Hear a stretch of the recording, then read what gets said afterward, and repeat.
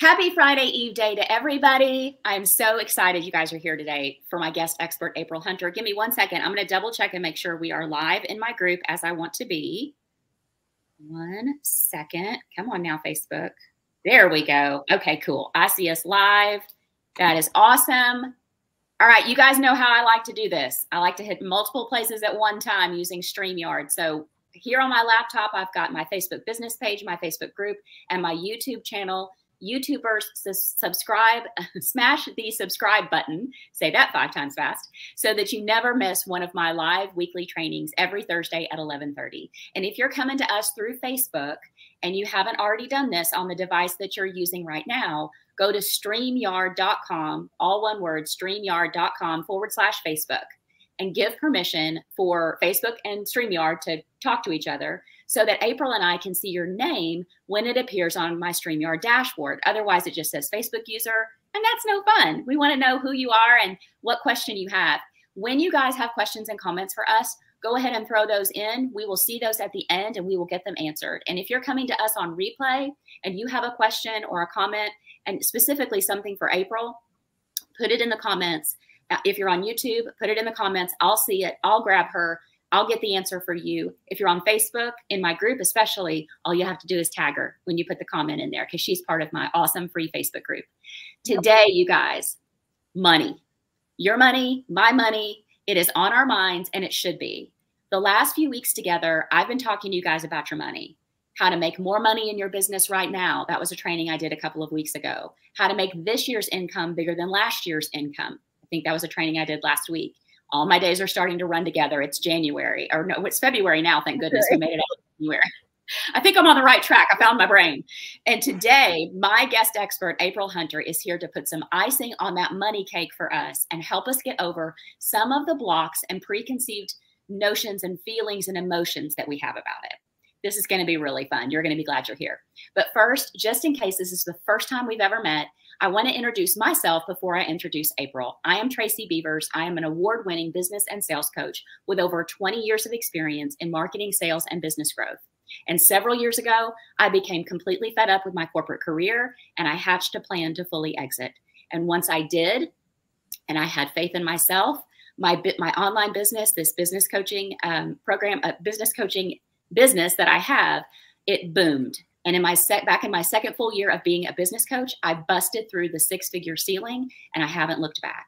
If you're building your business alongside your full time job, wanting to fully exit, or if you're already a solopreneur and you're just wanting to get to that 5K month, that six figure year, you can do this. You can build a six figure business just like I have. I have coached hundreds of entrepreneurs just like you to get visible and grow your email list so you can get that consistent monthly income that you want and that you desire, right? Money just takes the pressure off so many things. And it's okay to say that you want to make money in your business. All right, as I mentioned before, pop your questions and comments into the chat for us as we go along. We're going to answer all of those at the end. And again, if you're watching on replay, put your question in there, tag me, tag, tag April, I'll get you an answer let me introduce you to my friend, April Hunter. Y'all get ready to learn a lot. April has over 16 years experience in accounting and finance, and she completely breaks the mold. And this is what I love about her. She breaks the mold with her unique and fun approach to the topic. She is a profit first professional. She is certified in profit first. If you don't know what that is, there's an awesome book called Profit First, and it's an accounting system that you need to check out for your business. It helps you know um, what your, um, it helps you pay yourself primarily, helps you save money, helps you pay yourself, helps you squirrel away money for taxes, all the important things that we need to do. April's approach to accounting and finance and money is perfect for all of us who typically shy away from all the numbers, all the financial things. Like, I don't know about you, but when somebody starts talking about numbers years ago, I would just hear want, want, want, want, and I didn't want to deal with it. April takes the pressure off. Her, she has a blend of compassion and expertise and playfulness that makes her the go to professional and somebody that so many people trust. She's not just an accountant, you guys, she is a financial guide who is going to lead you through the maze of finance with fun and laughter and smiles so that you feel confident and informed every step of the way. And the numbers in the accounting aren't a total drag for you anymore. Okay, April, let's get to it. I just introduced you, but I want you to tell us more. I want you to tell us your story. And specifically, we want to hear about how your entrepreneurial journey has been. Because I love it when we're honest and we talk about the wins and also the stuff that might not have gone that great. I have a lot of that. um, so I'm April Hunter. Um, see where like if we look way back, um, like kindergarten. Okay, uh-huh. we're gonna go way back, kind of like somebody else did yesterday. We're not gonna go year by year. Um, I was I was homeschooled for a lot of my early early elementary education, mm-hmm. and mm-hmm. um, my dad was supposed to be teaching me math and he yeah. was always working as parents have to do. Right. Um, and in that, I really, really didn't understand a lot of those basic concepts that you're supposed to understand. And so I have always really struggled in like traditional math classes, especially when they brought out things like this. Yeah. Yes. Like yes. this brings me trauma. I'm not gonna lie. I'm gonna tell everybody what it is in case they're not watching. Are, and so these are like those number counting blocks. Okay, so it's oh, like yeah. the you know you you put them together and it's like ten, and you use them to like add, and then you can do like you know like three stacks of them is thirty plus six. It, it, yeah. Okay, we're gonna Got it. There. Um, Got it. So I had a really really hard time with math, but I started working at a very young age. Um, mm-hmm. I grew up in a guest ranch owning family. So I grew uh-huh. up in Wyoming, in Jackson Hole, Wyoming, and child labor was a thing. Okay, I was cleaning guest houses. It still is a thing. it is a thing. Um, yeah.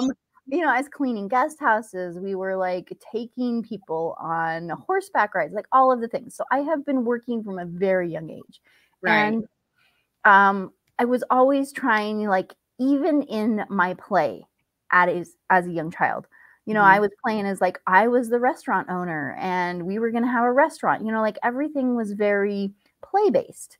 Yeah. Um, so when I got to college, I was a single mom at that time. Mm-hmm. Um, like freshman year of college, I had a baby. Not mm-hmm. smart. I don't advise it, but you know, life happens. Um, it happens it happens and you you can get past it is yes. what i is the story is the story that i have explored to learn to tell all of you.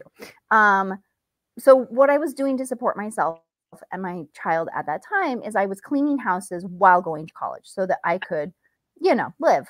Um and then you know the realization that taxes were coming around hit. Mm-hmm. yeah. And i was like i'm going to have to pay so much money to go have these done. And i I did for a year. I went in and I I paid for them to be done for a year. And I came out of that tax office feeling so stupid and so defeated because yeah. I did what we all do. I took in a couple reports that I had of what my sales were. I took in, you know, my bank registers. I took in my shoebox of receipts. Mm-hmm. And I didn't ever want to feel like that again. Right. And so the next year, I was like, I'm not going to have that happen. I'm going to figure this out myself. Yeah. Because I want to know exactly what goes into those numbers. And mm-hmm. I want to know exactly how I can save myself money mm-hmm. because my child and I depend upon this refund. Right. Nice. So, so that's how I broke into taxes. Yeah. And what it happened is it became a game. Mm-hmm. It's really a puzzle. It's not math. And what I discovered in it is that there is this little blurb of numbers, and we're going to call them purple, and they go in this spot. And there is mm-hmm. this little blurb of numbers, and we're going to call them blue, and they go in this spot. And it really became this like investigative puzzle mm-hmm. where it's, and it was so much fun. And yeah. since then, in all of the tax returns that I do, because I mm-hmm. do tax returns for clients, is I find all of those great little investigative pieces nice. and I have a lot of fun in it in like nice. putting the puzzle pieces together. So nice. that is where the perspective really started to change for me that yeah. math was not as hard as I had made it And uh-huh. it was uh-huh. not as hard as I had been taught. I am not a dummy, despite right. that one time I felt really bad about everything. And that I could really break free of that narrative in my life. Mm-hmm. Nice. And, and so, when did you decide to get into the online space? So, online happened um, probably about 2014, 2015. By mm-hmm. then, I had had a multitude of side hustles. Uh-huh. I am one of those people who I just want to, I'm a serial hobbyist. I don't have a hobby, I have every hobby. I want to try everything at least once. and um and so, you know, some of those things made money and some of those things were just fun.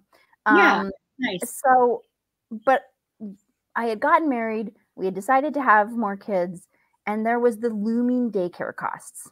I'd been yeah. through it once. I knew exactly how much that was going to cost. Mm-hmm. And I was like, if I don't find a way to turn these hobbies into money, mm-hmm.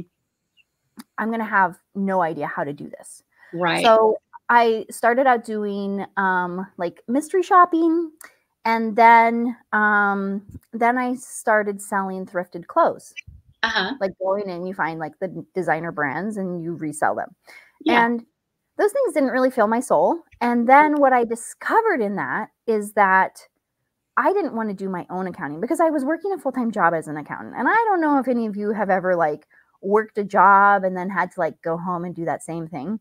Yep. It's no fun. Nobody wants to do that. It's kind of like being a parent all the time, you know, with no break. yes. yes. You need a break from things every once in a while. And right, so right. um what I discovered in that is I hired some people to do my own books for me and they were doing them wrong because oh. they weren't including the fees. Amazon charges currently their online sellers about 40%. Okay. Of the total cost of the item. So if you uh-huh. buy something from a third party seller on Amazon, they uh-huh. are charging that person essentially half of what you're paying just to sell wow. it on Amazon. Wow. So that's a huge write off that they were missing. Yeah. eBay's yeah. about eBay is a little different. It's about 10%.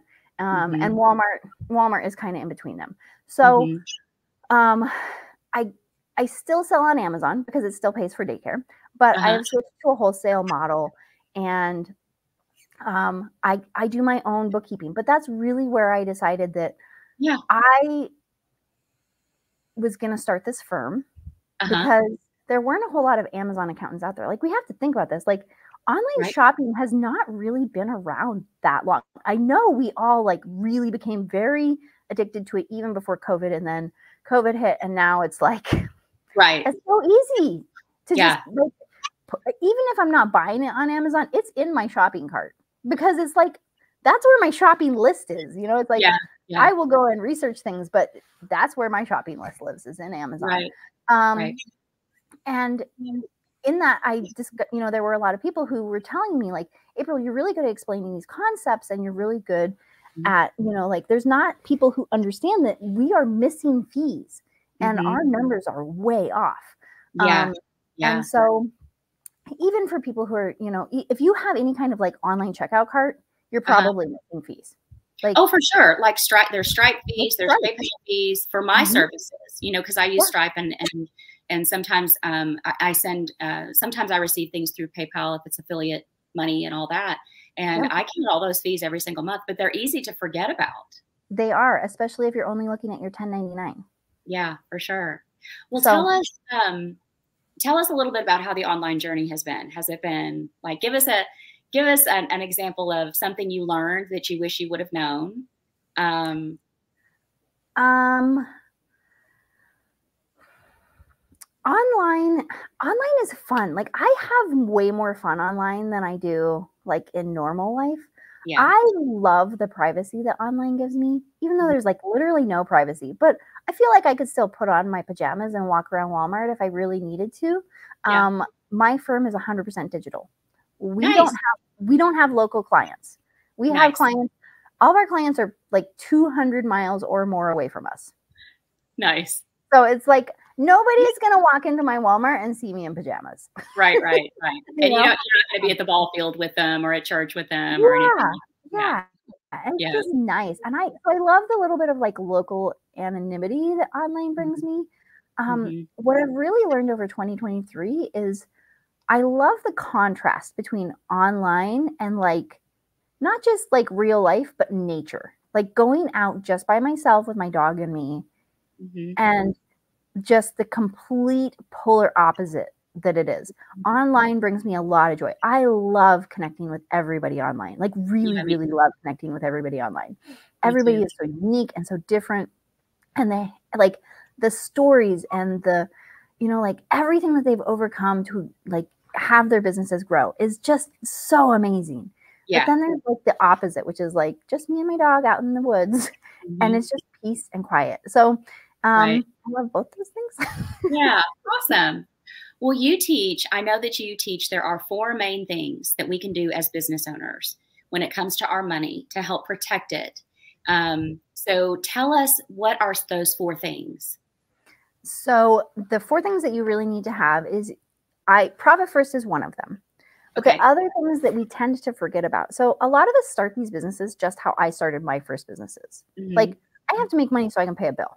Right. We're not starting this business thinking that there's like all of these regulatory things that we need to do. Mm-hmm. It's somewhere like deep down at the base of our brainstem, but we're like, you know what? It's not big enough. We don't need to do those things yet. And right. in some cases, you don't. Right. But um, in the accounting world, I worked for billion dollar companies.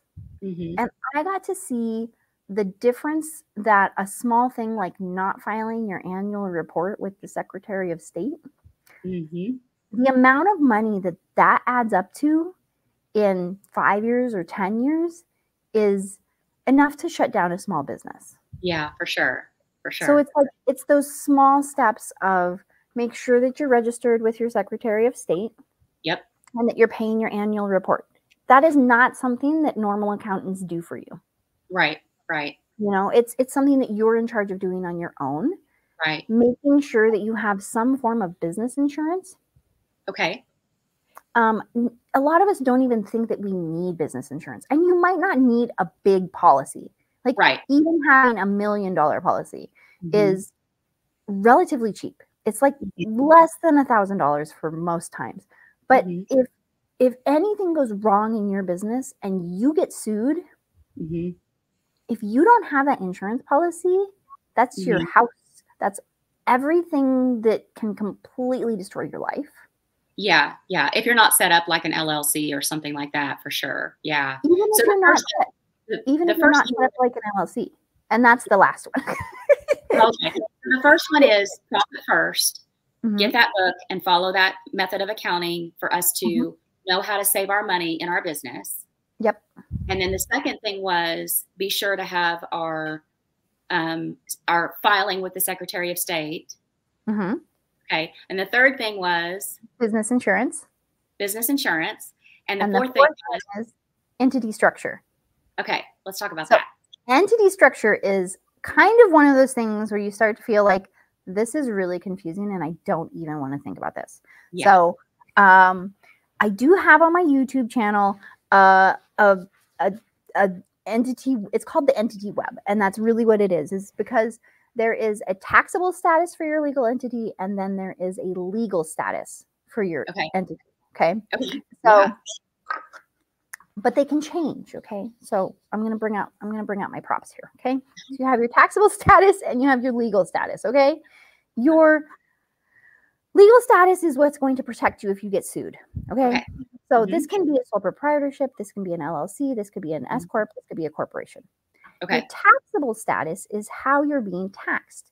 You okay. can do both of these things kind of mishmash together. So you can be an S corporation, which is getting uh-huh. the lower taxes, and uh-huh. your legal status is still an LLC. That's what I am. So what this does is this makes it so that if anybody sues you, they can't get your house. Right, correct. It can only take the assets in your business. Correct. But you're paying lower taxes than somebody who's just at an LLC over here because mm-hmm. you've chosen to be an S corp. So you can kind of be both things, and you the way that you can kind of go up the it's almost like a ladder. Okay, so you can go from like sole proprietorship to LLC to S corp to corporation or mm-hmm. some combination of those. And all it really does is it makes sure that where you are in your business matches where you should be taxed at and okay. how how much protection you need for either mm-hmm. yourself or as you grow your ownership structure. Okay. Got and it. That's the difference. Okay, that that makes it easy to understand. So for for a lot of my audience, they are solopreneurs. Mm-hmm. Um, they if they have a VA or an assistant, they're paying them on a 1099. They're not they don't have mm-hmm. an actual employees as we call it here at the states. We use W two. They're not W two employees.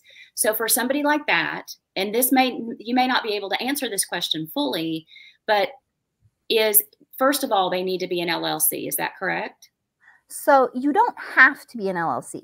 Okay. There are advantages to being an LLC. Okay. The first of which is that you are able to have the legal protection of if you get sued. Nobody's right. taking your assets. It's right. kind of like uh, the analogy I like to use is like a salad bowl, like the metal salad bowl. Okay. Mm-hmm. Everybody has one. Some people call them a puke bowl. Please don't mix your puke in your salad bowls. And then you have a strainer. Okay. So the strainer fits inside the salad bowl. Right. If you have just a sole proprietorship, you have a strainer. People can okay. go in and out of that.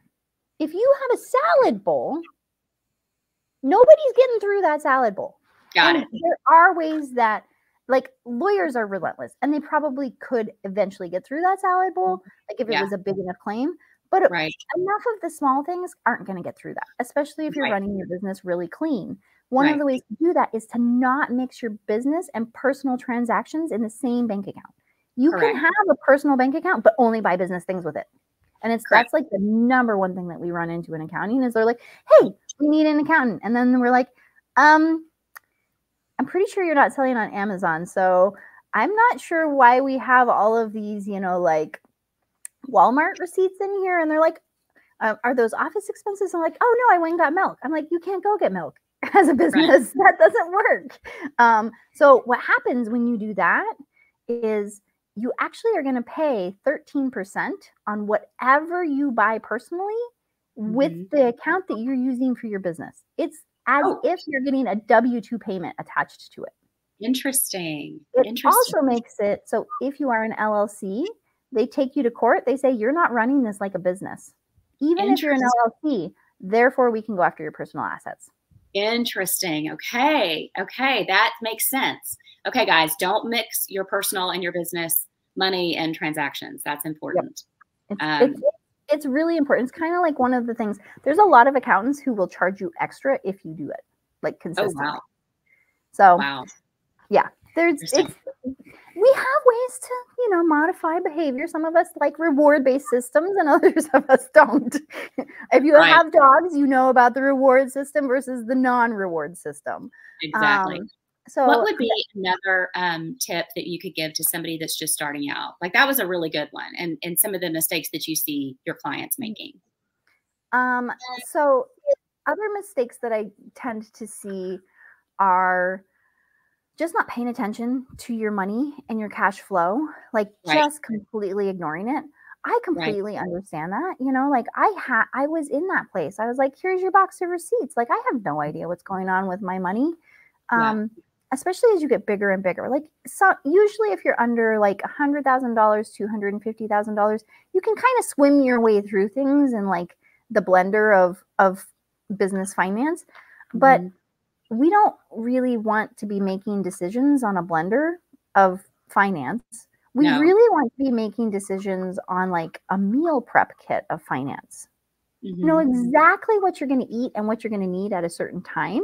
And it's all prepped and pretty in the fridge for you. It makes it a lot easier because you're not having to go, oh no, that kid wasn't supposed to have nuts. And I'm pretty sure there's a nut somewhere in this blender. If you have it prepped in your fridge as a meal kit, you're like, oh, this kid is allergic to this. I can't have this.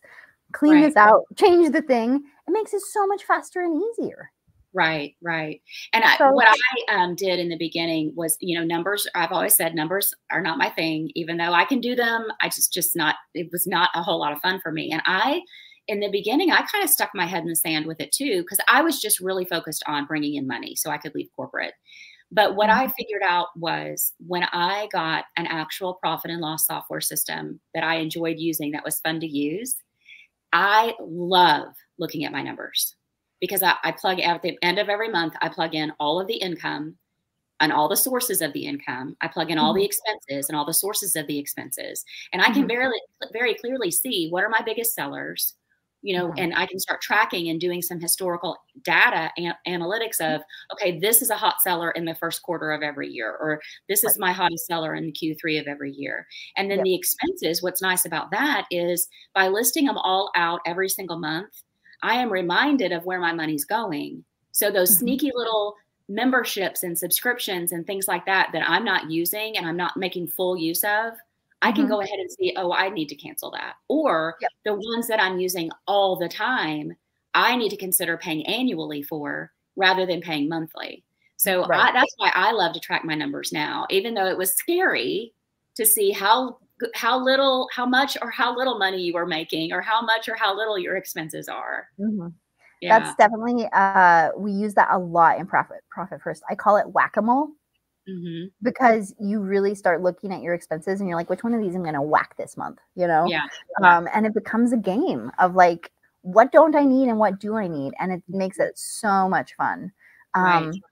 Let's talk about profit first for just a second, because mm-hmm. I think some there are some people in my audience that um, don't know anything about profit first. Right. So um, the general understanding that I have is that you set up anywhere between four and five business accounts. Mm-hmm. And that your all of your money that people are paying you comes into the income account. Mm-hmm. And then you disperse it to think an account called um, operating expenses, an account called taxes, an account called owner's compensation, and, or, and you may have one that's for profit.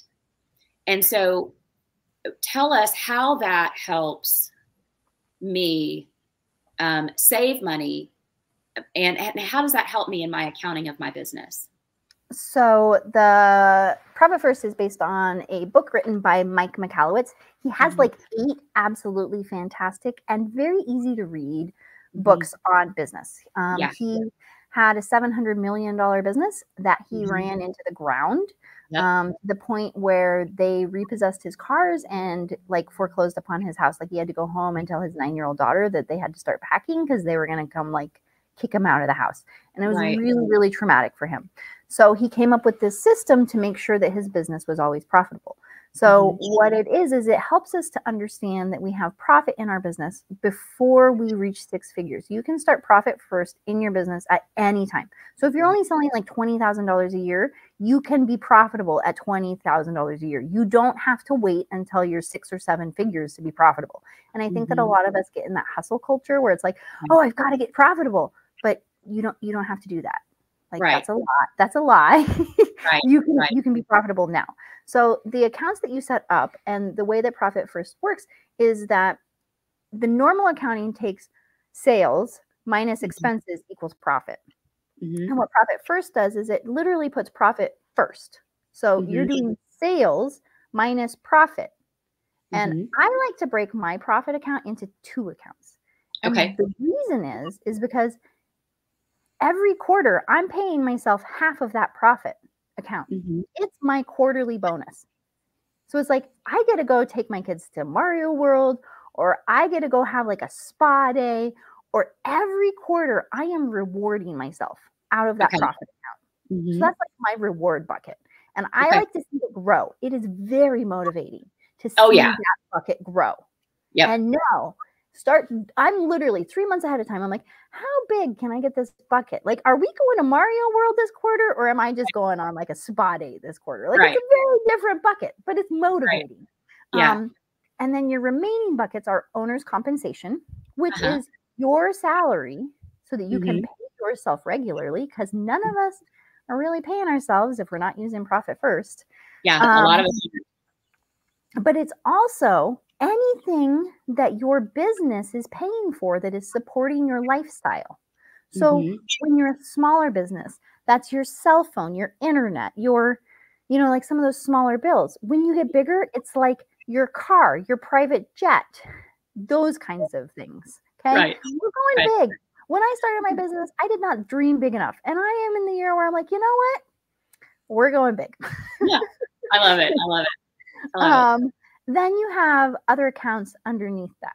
You can mm-hmm. have an operating expense account, but if you have something that you really want to track to make uh-huh. sure that you're on target, then we help you figure out like what are the percentages of what these operating expense accounts are.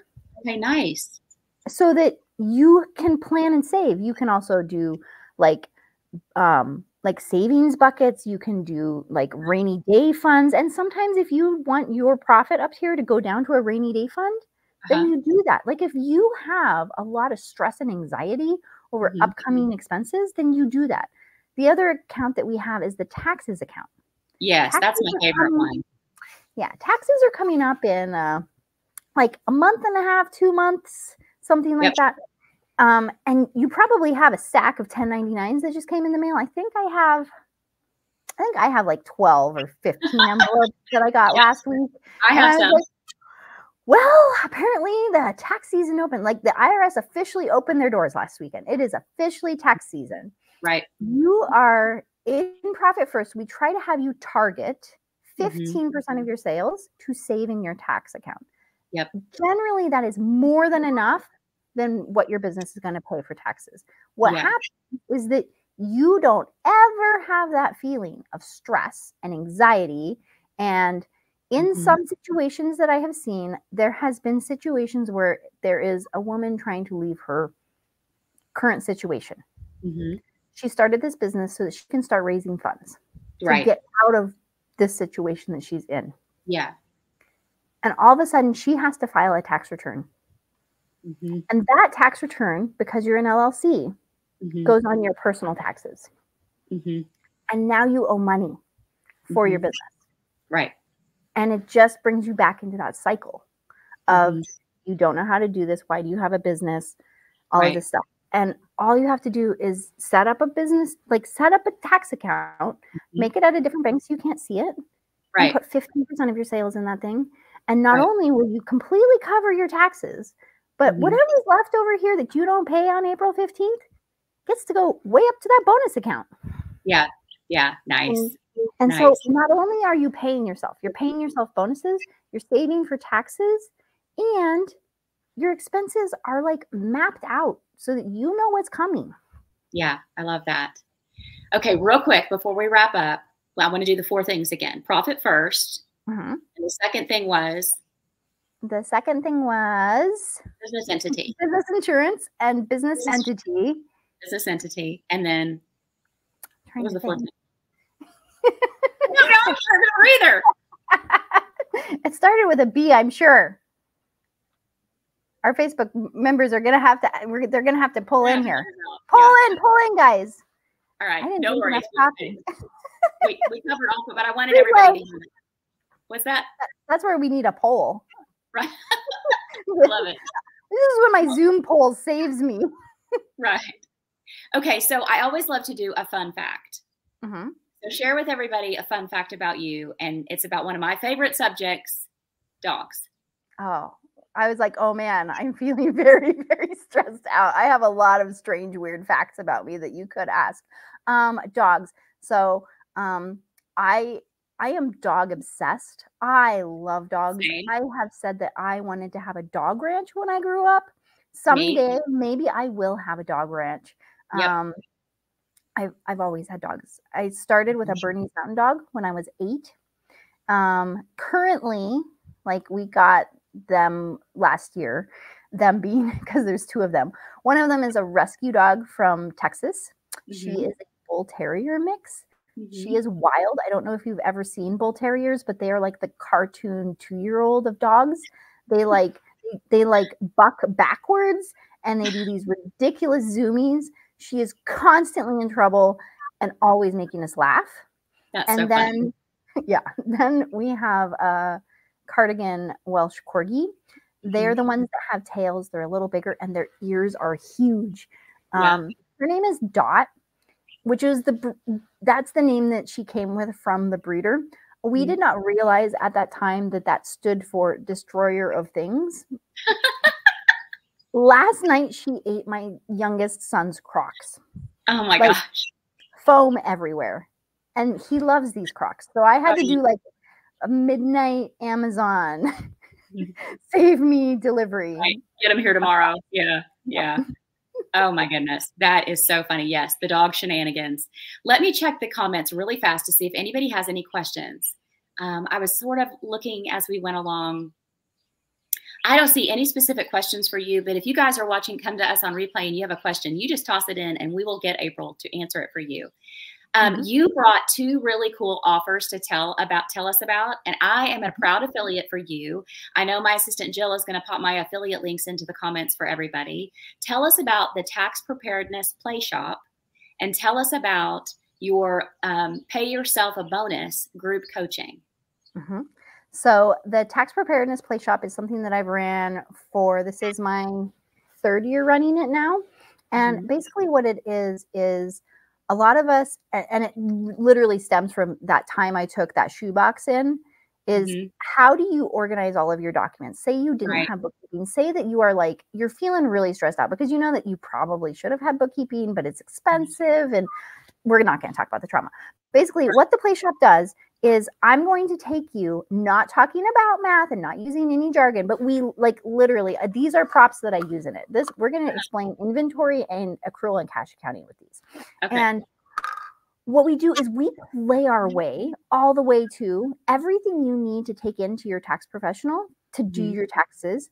And I not only do that, but we go through a lot of hidden things and areas that you're mm-hmm. not going to think about yeah when you're when you're looking for all of these things like mm-hmm. there are areas that i go into that you would have never looked for an expense nice so not only is it going to get you to a place where you're either emailing your accountant or you're you know like walking in with a couple pieces of paper but you walked in organized and you're probably going to have a pretty good idea about what your refund is or what you're going nice. to owe nice. based upon your numbers so nice. Um, that is open now and it's open year round. It also has a fall component. So we kind of take a little bit of a breather after April because nobody wants to talk about taxes anymore. However, right. you don't save money on taxes if you're not thinking about taxes all year long. So right. we take a little bit of a breather and then we go back in and we start talking about tax planning, ways okay. that you can literally reduce your taxes. So mm-hmm. taxes kind of work in a way of like they see how much your checkout is. Like when you're mm-hmm. at the grocery store, you have your checkout number. Okay. And then you're like, well, I've got like $5 cash. Mm-hmm. And they're like, okay, so now you owe this much money. Mm-hmm. And credits work like coupons. And some of them are like, you can double them or whatever. So mm-hmm. we go through and we look at all of the different credits and all of the different ways that you can save in deductions and mm-hmm. coupons so that when you have to actually pay the IRS, it's less than your checkout number originally was. Nice. So it's a nice. full year program. It's really awesome. You also can sign up for text message reminders of any and all tax related dates throughout the year. Nice. We send them ahead of time so that you have time to get prepared and get it done so that you're not mm-hmm. receiving a text message the day of and going, oh man, I have to make an estimated tax payment today. No, we give you like two weeks notice so that you can take that 15% that you've been saving, go make your estimated tax payment, and then your business gets a refund, which means you get a bonus. That's nice. And the pay yourself a bonus group coaching program, real quick, what's that? So, pay yourself a bonus group coaching program is a intensive t- walk through profit first. My okay. analogies are way better than Mike Michalowicz's analogies because um, I actually talk about things that we talk about every day as women. Like mm-hmm. we talk about laundry, we talk about cleaning your kids' rooms, we talk about cleaning the fridge. It's all things that you are intimately mm-hmm. aware of and can do in your sleep. And we teach you essentially how to think about your accounting in your business and how to set that all up. It's more than just profit first, though, because yeah. everybody has a money story. Some people have more of a traumatic money story than others. Right. And what we really kind of walk through is how do we get to the point where we're not avoiding money? Right. Right. Like, so it's more than just that. We, we, talk through a lot of those really tough questions. Um, yeah. And it's a 16 week program, and it's a lot. It's a it's an amazing transformation because nice. at the end of 16 weeks, you pay yourself your first bonus. Nice. I love that. All right, this is awesome. You guys, if you are loving this content, I want you to save it into your favorites. And create your own library of awesome trainings. As you know, I go live every single week, Thursday at 11:30. Sometimes it's just me. Sometimes I bring in a, an awesome guest expert like April to help us out on a topic we all want to learn more about. And I want you guys to pop into my free Facebook group. If you're not already a member, it's called Be a Confident Entrepreneur, Get Visible, Grow Your Income. You can promote yourself anytime. You can get help on anything you need as a business owner in the group. Make some collab, make some networking uh, connections for collaborations, things that are going to grow your business. Be here live with me every Thursday at 11:30. Put it on your calendar, set the phone alarm, and remember, don't go it alone. I say this every single week. You guys, being an entrepreneur is freaking hard. Some days everybody wants to buy what you're selling. Other days nobody can remember your name. And if you think you're alone, you are not. I want you to have a great balance of the week and weekend.